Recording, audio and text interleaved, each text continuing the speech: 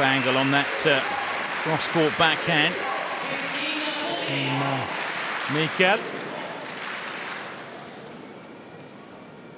Causing Venus problems.